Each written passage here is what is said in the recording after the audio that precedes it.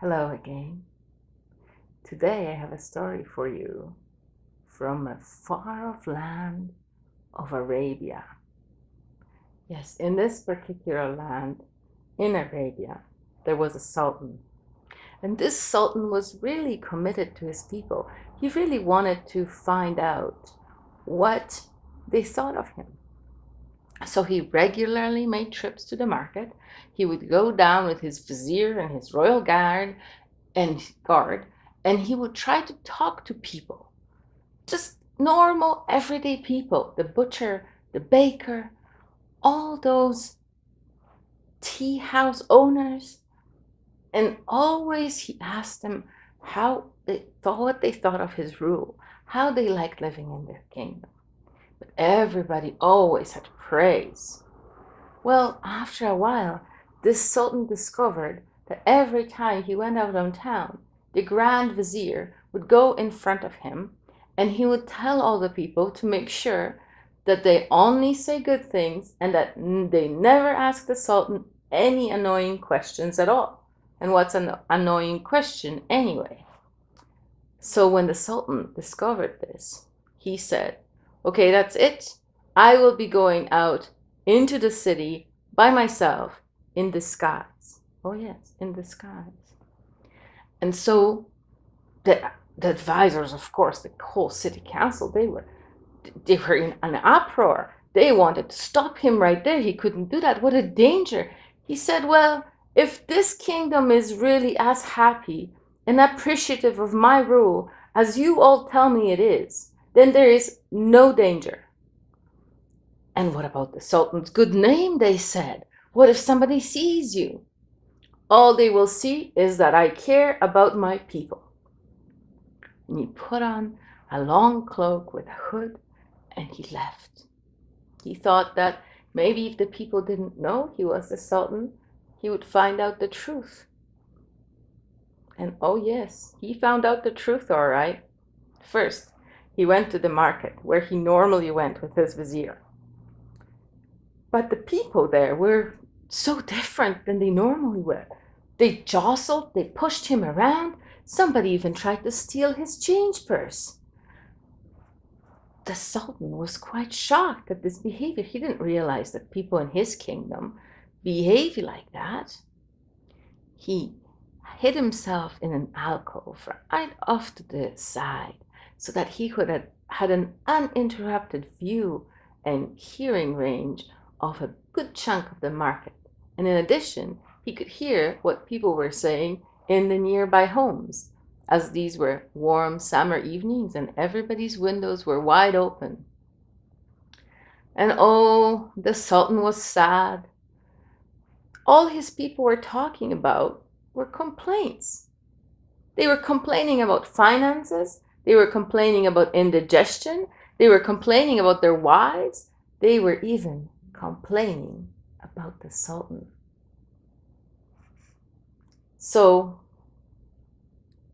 sadly, he thought this cannot be the whole kingdom. There has to be a place where they're not so despondent, despondent. So the Sultan went out into the neighborhoods.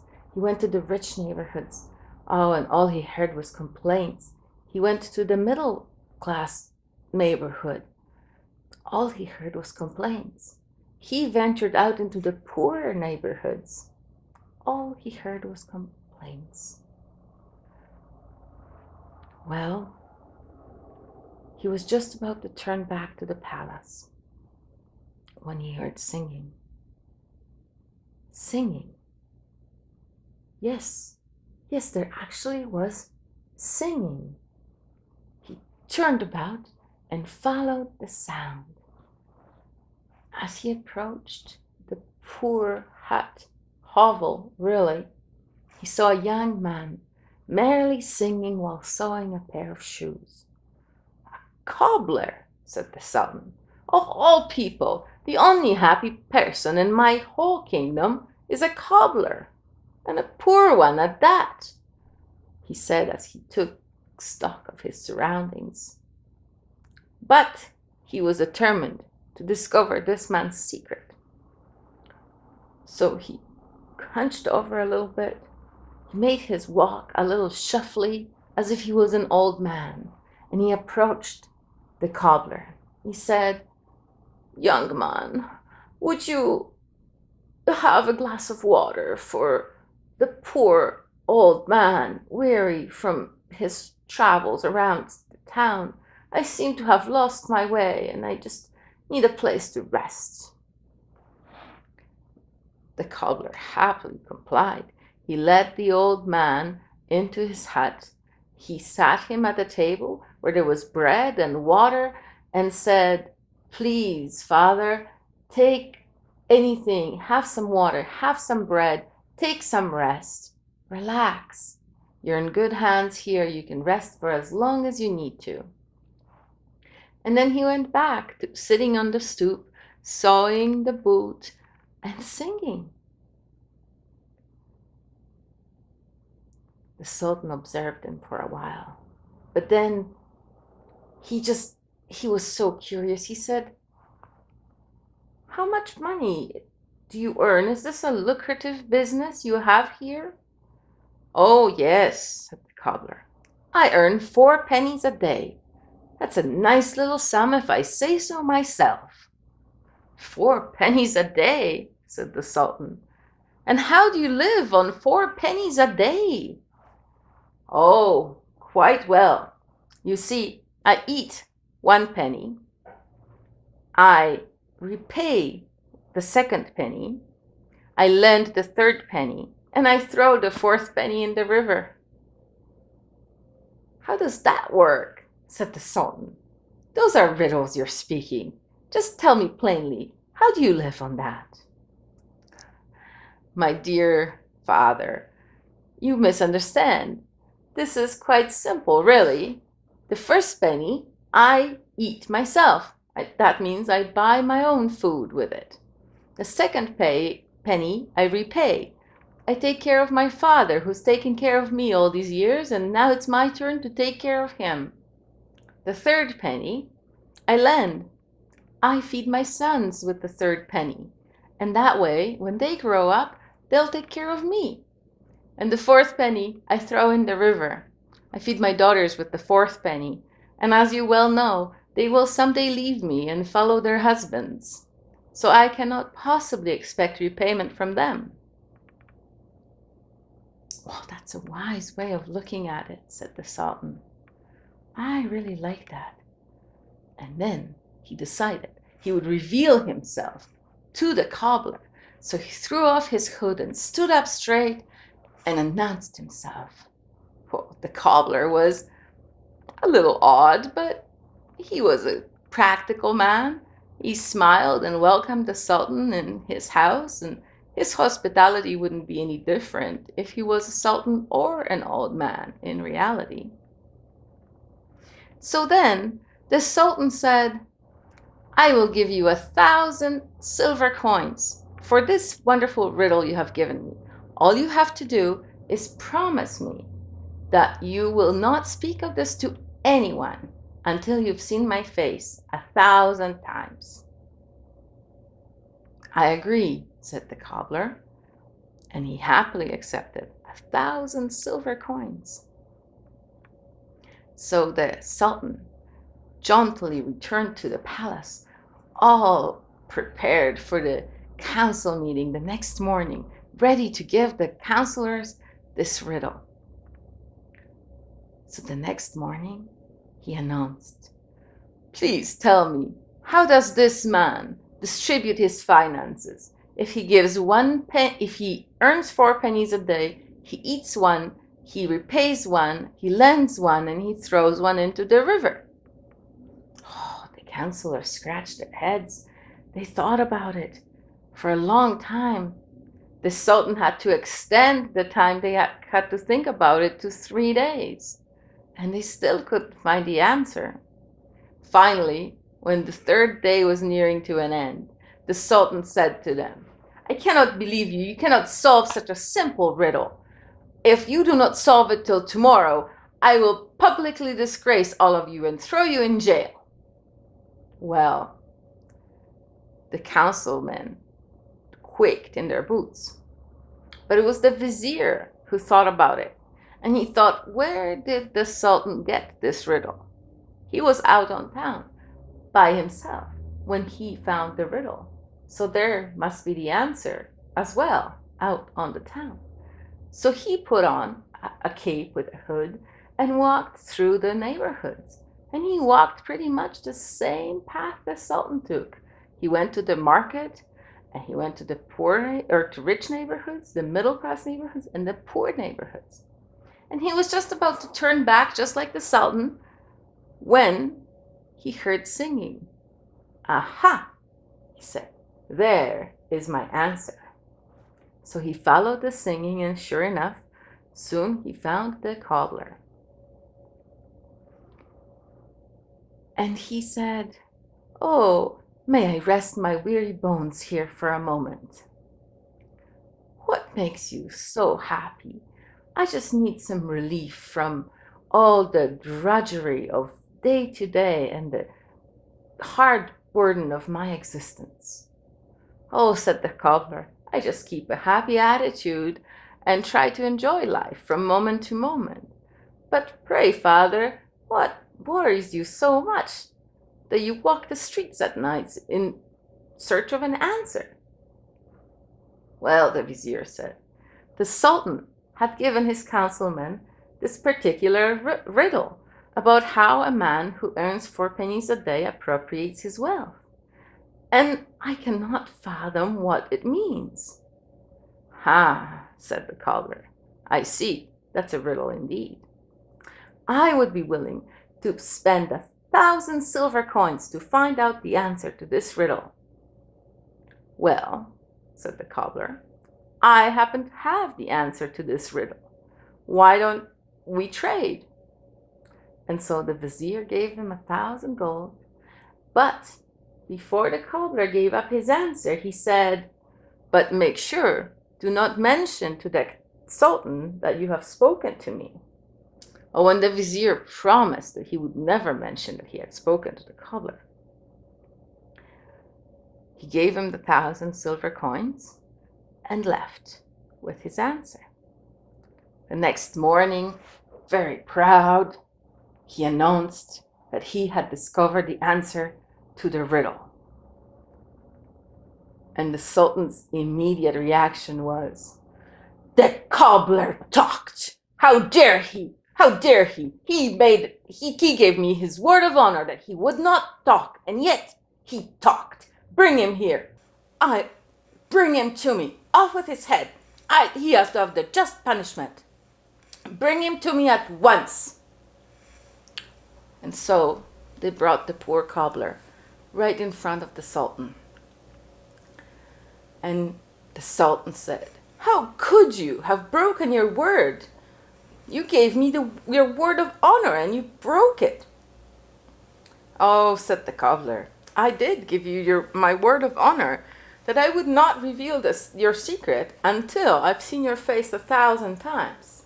But in fact, before I gave away your secret. I didn't only see your face a thousand times, I saw your face two thousand times. And at that, he pulled out the bag of coins from underneath his lapel and spilled them all on the floor in front of the Sultan. And here on each coin, the Sultan's face, Sultan's face, was clearly visible. The Sultan liked this answer so much that he, in his joy and gratitude, gave the cobbler another thousand gold and sent him off on his merry way.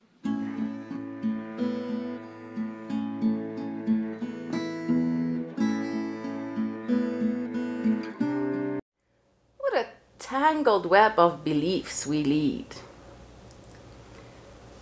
As you can see from the story, our Sultan he took matters into his own hands because he no longer wanted to continue with the beliefs that he suspected weren't true.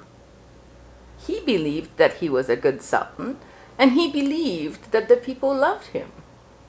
But as doubt crept into his consciousness, he decided to test his beliefs, to see if they were true, and perhaps to change them if they weren't.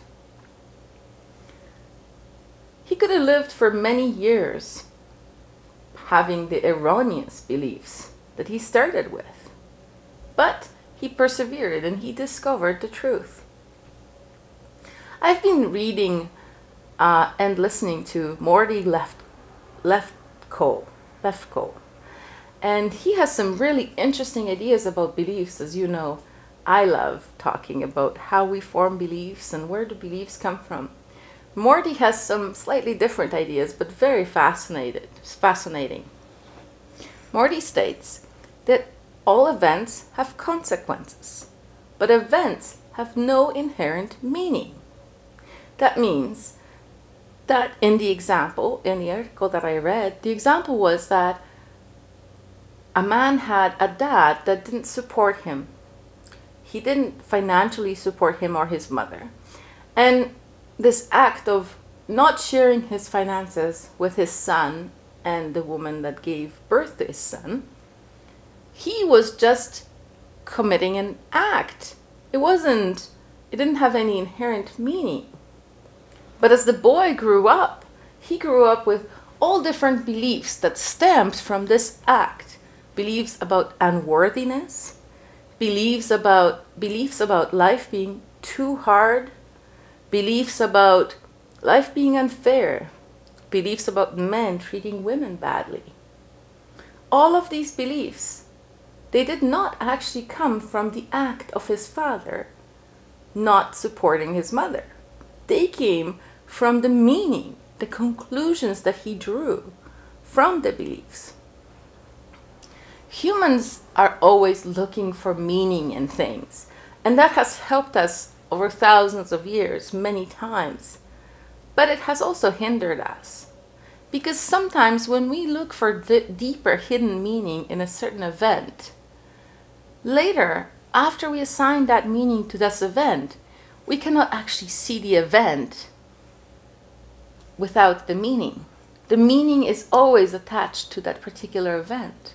Yet events inherently have no meaning. The meaning is a combination of our past experiences, our parents' consciousness, what beliefs they have taught us, or even what beliefs we picked up through osmosis, just through society and being members of society. So the meaning is something that we attribute to events. Now, values are also an interesting things. Values are beliefs about right or wrong. Some values that are deeper can seem immovable. They can seem like there's nothing that would change them. Yet, all values are only personal opinion, personal beliefs, things we've picked up along the way, and not necessarily true. And even if they are true, they're not necessarily true for everybody. So, according to Morty, a belief is a statement about reality in, my, in our mind that feels true. A belief is the meaning that we give to meaningless events. A belief is something that, if you were to finish this statement, I am something, that's a belief whatever you are. Or people can't. Whatever you believe people cannot do, that's a belief as well. Or life is, whatever you think life is. Now, values, beliefs about right or wrong, would start with parents should something, or it is wrong to something. So you see, there's so many of these beliefs that are in our consciousness that we don't even really consciously keep track of them. We just understand them as reality. But then it gets complicated because other people have different beliefs, and that is their reality. And so, in the previous years, it has been a very common thing to attempt to take our beliefs and apply them to other people's lives. But because we're not them, it doesn't work so well, and often our advice cannot even be utilized by others.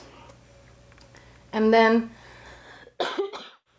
so what we learn is that we cannot enforce our own beliefs or our own values on other people's because even even if you think about me i'm an extrovert somebody who's an introvert.